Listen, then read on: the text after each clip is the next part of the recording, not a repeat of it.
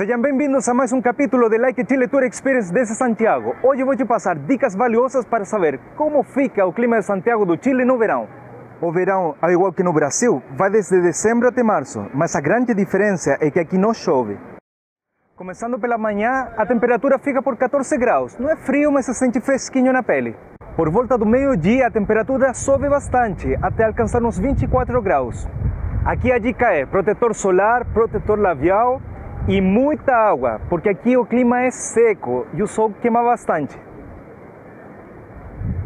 Como vem, nessa época as pessoas usam short e saia.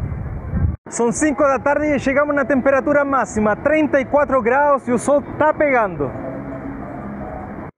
Finalzinho de tarde, já são 8 e meia, ainda tem algo de luz, mas começou a ventar uma brisa fresquinha. Mas nada que uma boa malha, isso não resolva.